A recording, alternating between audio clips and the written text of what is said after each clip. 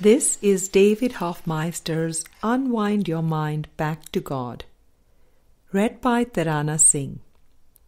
In today's episode, we continue with the transfer of training in Book 3. In Chapter 3, this is Section 1, Part 5. Time, Space, and Personhood, Part 5 of 6.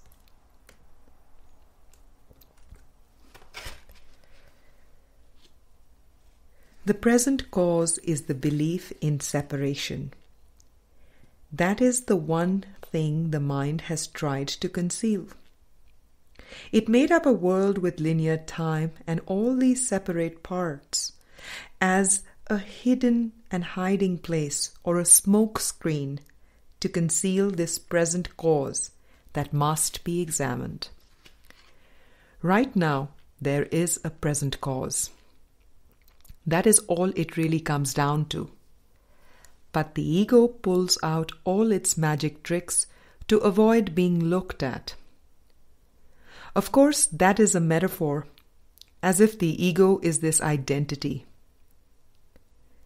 Ultimately, it has to be just looked at as thoughts.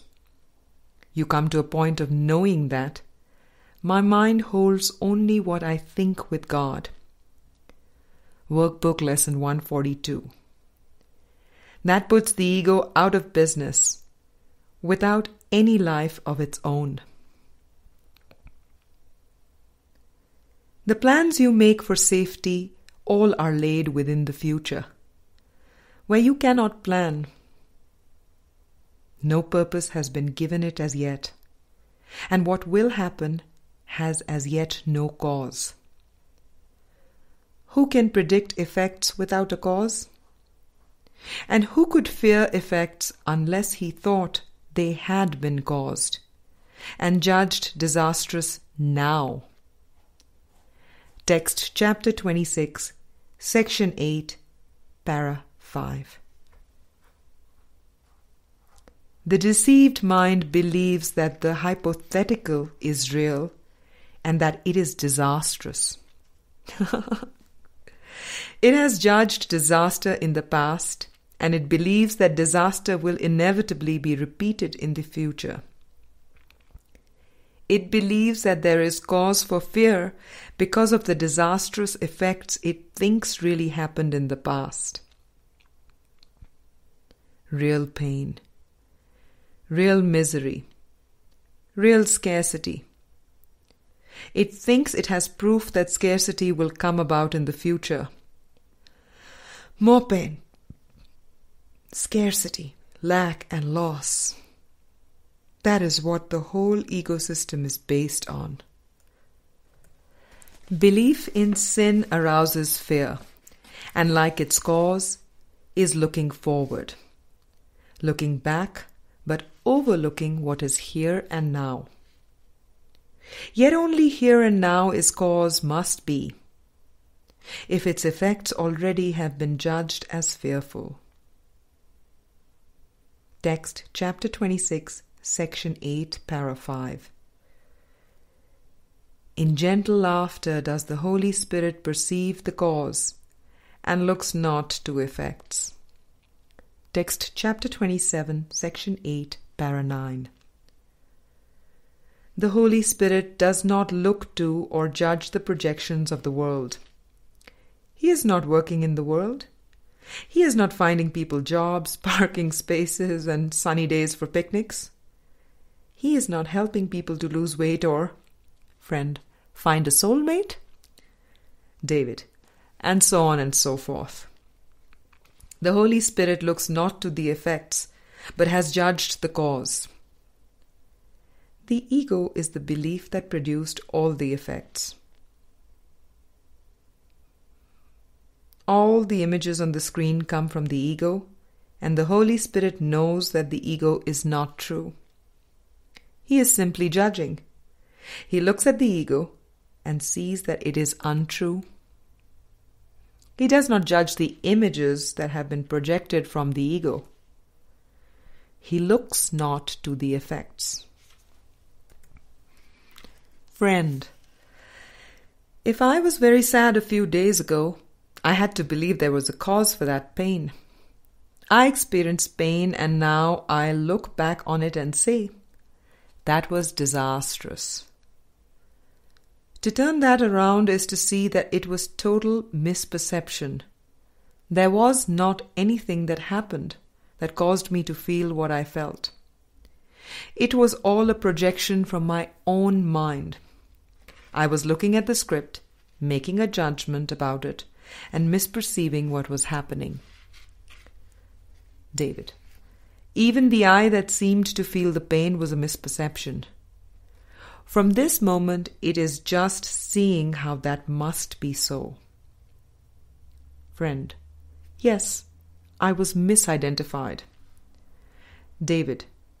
Take it even a step further back from I was misidentified. Who is that I? Who is the I that is misidentified? The deception is thinking that there was this real thing, this real person back then that experienced this pain or that was misidentified. Can you see how that reels it back to the present? Do I believe that there is a present cause, small c, that is disastrous? Friend. And as long as I do, then I have to believe that disaster is imminent in the future. David. If it was real in the past. Friend. Hang on to your seats because it is coming again. David. Even if it is constructed that salvation and atonement are coming, if it was real in the past, then I'm going to have to wait. I have to go through a period of more pain. The wrong mind wants to see the pain as real. It has been real and it will be real. That is what has to be questioned.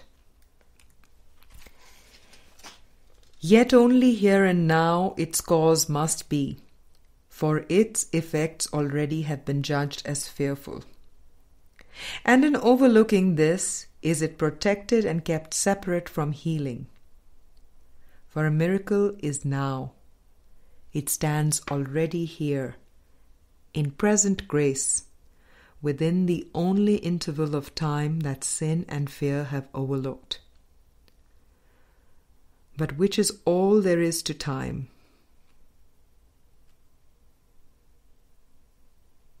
The working out of all correction takes no time at all. Yet the acceptance of the working out can seem to take forever. The change of purpose the Holy Spirit brought to your relationship has in it all effects that you will see. They can be looked at now. Why wait till they unfold in time and fear they may not come, although already there? You have been told that everything brings good that comes from God, and yet it seems as if this is not so. Good in disaster's form is difficult to credit in advance nor is there really sense in this idea. Text chapter 26, section 8, paras 5 and 6. Friend, yeah, great. Thank you for adding that. David, that relates to what you were saying earlier. You want the experience. It can say all kinds of things in here but until you have the experience, and Jesus is saying, right. Good in disaster's form is difficult to credit in advance. Friend, I do not understand what you are saying by that.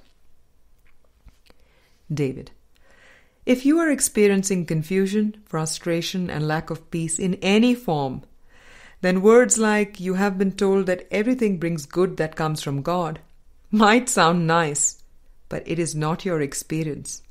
It does not make any sense.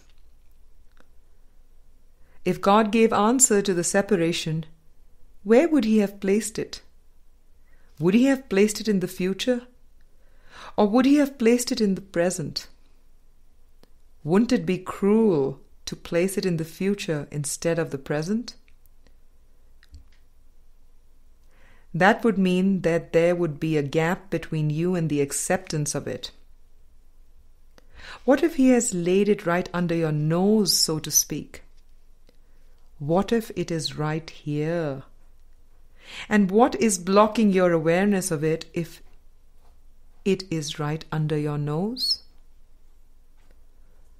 Friend, do not leave me hanging there. Why should the good appear in evil's form? David, God has given you the present answer. The Holy Spirit is right here, right now. Friend, how can who I am be yet to come?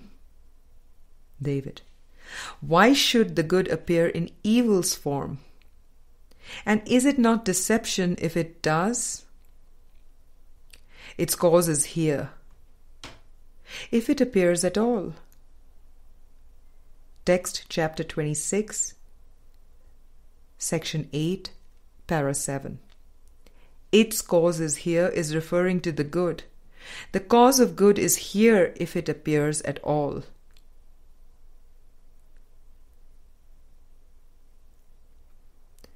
Why are not its effects apparent then? Why in the future? And you seek to be content with sighing and with reasoning you do not understand it now, but will some day? And then its meaning will be clear? This is not reason, for it is unjust and clearly hints at punishment until the time of liberation is at hand. Given a change of purpose for the good, there is no reason for an interval in which disaster strikes, to be perceived as good some day, but now in form of pain. This is a sacrifice of now, which could not be the cost the Holy Spirit asks for, what He gave without a cost at all. Text chapter 26, section 8, para 7. Look at that reasoning. Why should the good appear in evil's form? And is it not deception if it does? I mean, there is cause for joy right now. If I am not experiencing the joy and the peace and the rest, it cannot be that God is withholding anything.